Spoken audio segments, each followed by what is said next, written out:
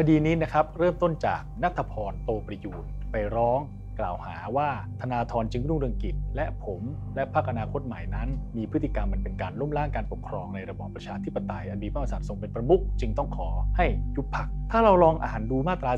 49 แล้วเราจะพบว่ามาตรานี้ไม่ใช่เหตุแห่งการยุบพรรคแต่เป็นเรื่องของคนที่ใช้เสรีภาพเป็นการล้มล้าง ถ้าสารรัฐธรรมนูญเห็นว่าเขาใช้เสรีภาพในการล้มล้างจริงสารรัฐธรรมนูญก็จะมีคำสั่งเลิกการกระทำนั้น ยกตัวอย่างเช่น มีคนไปร้องสารรัฐธรรมนูญ บอกว่าการชุมนุมนี้เป็นการล้มล้างการปกครอง สารรัฐธรรมนูญเห็นแบบนั้น สารรัฐธรรมนูญก็จะสั่งให้เลิกการชุมนุม ดังนั้นท่านจะเห็นได้ว่ามาตรา 49 ไม่ได้เกี่ยวอะไรกับการยุบพัก เมื่อไปอ่านคำร้องและคำแถลงปิดคดีของคุณนัทพรแล้ว เราก็จะพบเห็นเหตุหลายเหตุที่คุณนัทพรอ้างขึ้นมา แน่นอนที่สุดครับ เหตุหนึ่งที่คุณนัทพรใช้พักอนาคตใหม่ มีสัญลักษณ์ของพักเป็นสามเหลี่ยมรูปคว่ำเหมือนกับสัญลักษณ์ขององค์กรอิลูมินาติ แต่ถ้าอ่านลงไปดีๆครับ วัตถุประสงค์ของคุณนัทพรมีอะไรแฝงเร้นซ่อนเอาไว้อยู่ คุณนัทพรเอาการรณรงค์เรื่องการแก้ไขประมวลกฎหมายอาญามาตรา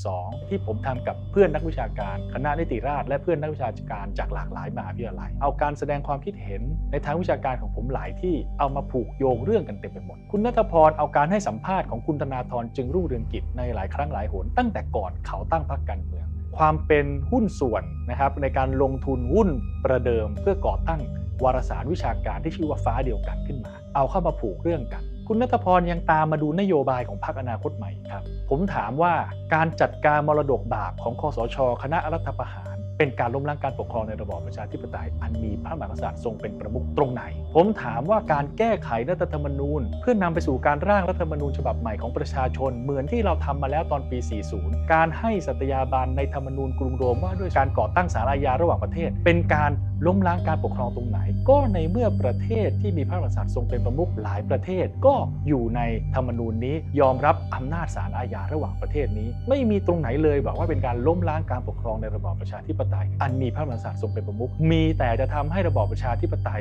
อันมีพระมหากษัตริย์ทรงเป็นประมุขนั้น พัฒนาก้าวหน้าขึ้นอย่างต่อเนื่องด้วยซ้ำไป คุณนัทพรเอาเรื่องราวต่าง ๆ เหล่านี้ผูกเข้ามาผูกเข้ามา แล้วก็พยายามตีขลุ่มไปให้ได้ว่า คุณธนาธรจึงรุ่งเรืองกิจและผมนั้นมีพฤติกรรมเป็นการล้มล้างการปกครอง ถ้าหากพรรคอนาคตใหม่ ล้มล้างการปกครองจริงทำไมคณะกรรมการการเลือกตั้ง ถึงยอมให้ตั้งพรรคทำไมพรรคอนาคตใหม่ยังได้ลงเลือกตั้ง ได้เสียงจำนวน6ล้าน3แสนเสียงกลับมา และยังปฏิบัติหน้าที่ในสภาผู้แทนราษฎรได้อย่างดีทำไมทุกวันนี้ผมยังได้เป็นผู้แทนราษฎร ถ้าหากเราเป็นพรรคที่ล้มล้างการปกครองจริง จนถึงวันนี้อยู่ไม่ได้แล้วครับ สิ่งที่คุณนัทพรโตประยูนดำเนินการมาทั้งหมดนั้น จึงเป็นเรื่องเท็จทั้งสิ้น แล้วเขาทำทำไม ผมคิดว่าการเกิดขึ้นของพรรคอนาคตใหม่ การเกิดขึ้นของการเมืองแบบใหม่ๆ ที่พวกเราเริ่มต้นสร้างกันขึ้น สร้างความหวาดกลัวให้กับคนบางคนคนบางกลุ่ม นี่คือระบอบประชาธิปไตย อันมีพระมหากษัตริย์ทรงเป็นประมุขดังนั้นระบอบแบบนี้ไม่มีที่อยู่ที่ยืนให้คณะรัฐประหาร ไม่มีที่อยู่ที่ยืนให้กับอำนาจเผด็จการ แต่มีที่อยู่ที่ยืนให้กับรัฐสภา ให้กับรัฐบาล มีที่อยู่ที่ยืนให้กับประชาชนที่มีสิทธิ์มีเสียงในการออกเสียงลงคะแนนใช้สิทธิ์เลือกตั้ง และมีสิทธิ์มีเสียงในการรณรงค์ทางทางการเมืองนะครับนี่คือเนื้อหาใจความสำคัญของระบอบประชาธิปไตย อันมีพระมหากษัตริย์ทรงเป็นประมุขเขากลัวความคิดแบบอนาคตใหม่ เมื่อกลัวก็ต้องไปหาวิธีทางว่าจะกำจัดอย่างไร วิธีการกำจัดที่ใช้กันมาโดยตลอดก็คือ ตัดมันออกไปจากการเมืองไทยซะ นั่นก็คือยุบพักการเมือง นี่จึงเป็นที่มาที่ไปของเรื่องราวทั้งหมดครับที่พยายามผูกเรื่องราวต่างๆ โยงมาแล้วหามาตรา 49 มาใช้ เพียงเพื่อที่จะต้องการนำเรื่องของพรรคอนาคตใหม่ ไปอยู่ในมือสารรัฐธรรมนูญให้ได้ และในท้ายที่สุดจะนำมาซึ่งการยุบพักหรือไม่ วันที่ 21 ก็จะได้รู้กัน ถ้าหากว่ามีการยุบพักเกิดขึ้นจริง ผลร้ายไม่ได้เกิดกับคุณธนาธรไม่ได้เกิดกับผมหรอกครับ ธนาธรก็ยังคงรณรงค์ทางการเมืองอย่างต่อเนื่องต่อไป ไม่ได้กลับไปประกอบธุรกิจ ตัดสิทธิ์ผม ผมไม่ได้เป็นสสผมก็จะเดินสายอภิปรายแบบในสภานะครับ แต่อภิปรายให้พี่น้องประชาชน ฟังทั่วประเทศสสเราก็จะย้ายไปอยู่ในพักใหม่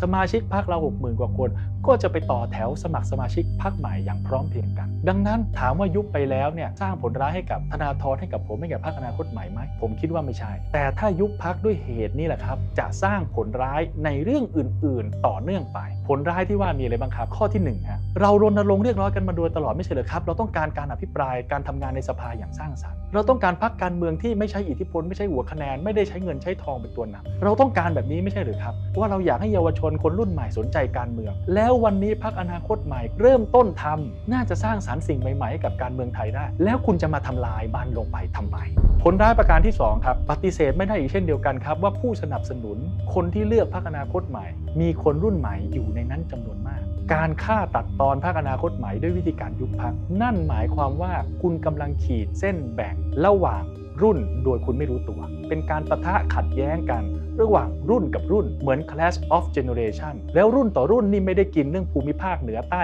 ส่วนหนึ่งอีสานตะวันออกตะวันตกส่วนหนึ่งไม่ใช่นะครับ มันทั้งประเทศรอยประทะกันความขัดแย้งกัน ระหว่างคนรุ่นหนึ่งกับคนรุ่นอีกรุ่นหนึ่ง ซึ่งผมคิดว่าเป็นเรื่องที่ไม่ดีถ้าหากมันจะเกิดแบบนั้นผลร้ายข้อที่ 3 ครับ นี่เป็นอีกครั้งหนึ่งที่นำประเด็นสถาบันพระมหากษัตริย์ มาใช้เป็นเครื่องมือในการทำลายล้างทางการเมือง แล้วถ้าเกิดสารรัฐธรรมนูญยุบพักจริง สังคมจะคิดเลยว่าธนาธรผมและพรรคอนาคตใหม่ มีพฤติกรรมอย่างนั้นจริง จะผลักดันให้กลุ่มก้อนพลังทางการเมืองกลุ่มนี้ทั้งกลุ่มกลายเป็นศัตรูต่อสถาบันพระมหากษัตริย์อย่างนั้นหรือทั้งๆทที่มันไม่ใช่ นี่คืออันตรายที่คุณนัทพรโตประยูนไม่รู้ตัว หรือรู้แล้วไม่สนใจก็ไม่ทราบ คุณนัทพรโตประยูนอาจจะดีใจ กองเชียร์ของคุณนัทพรโตประยูนอาจจะโห่ร้องกำจัดพรรคอนาคตใหม่ได้แล้ว แต่หารู้ไหมว่า คุณกำลังสร้างผลร้ายอื่น ๆ ตามมาแล้วตัวคุณจะรับผิดชอบไม่ไหวด้วยคุณนัทพรโตประยูน เรื่องนี้ไม่ใช่แค่พรรคอนาคตใหม่ ไม่ใช่แค่นายธนาธรจึงรุ่งเรืองไม่ใช่แค่นายปิยบุตรแสงกนกกุลเรื่องนี้คือความหวังของคนรุ่นหนึ่ง คนรุ่นใหม่ที่กำลังเติบโตขึ้นมา แล้วถ้าทำลายด้วยวิธีแบบนี้ข้อหาแบบนี้ ผมเกรงว่าจะนำบ้านเมืองไปสู่ทางตันมากกว่าเดิม มีแต่เพียงอย่างเดียวครับ ยอมรับความเป็นจริงว่า พลังทางการเมืองกลุ่มใหม่ พลังทางสังคมกลุ่มใหม่เกิดขึ้นแล้วในประเทศไทย แต่ถ้ายังยืนยันว่าที่ผ่านมาเป็นเรื่องจัดตั้งที่ผ่านมาเป็นเรื่องยุยงปลุกปั่น เป็นเรื่องถูกหลอกให้หลงผิด ถ้าคิดแบบนี้ให้ตายก็ไม่มีวันแก้ปัญหาได้ เช่นกันครับ ถ้าคิดแต่เพียงว่าจัดการอยู่เอาอยู่ ยังไงก็ตามพวกเราต้องครองอำนาจอยู่แบบเดิม โดยไม่คิดจะลดถอยไม่เคยคิดที่จะประนีประนอมกันเลย ผมคิดว่าวิธีการนี้ก็มีทางแก้ปัญหาได้ เราผ่านวิกฤตการณ์มา 13 ปี ครั้งนี้เราพยายามจะเริ่มต้นเดินหน้าไปสู่อนาคตแบบใหม่หาทางออกร่วมกัน อย่าทำลายความหวังของคนไทย อย่าทำลายความหวังของคนรุ่นใหม่ เพียงเพราะต้องการกำจัดผมกำจัดคุณธนาธรออกไปจากการเมืองไทย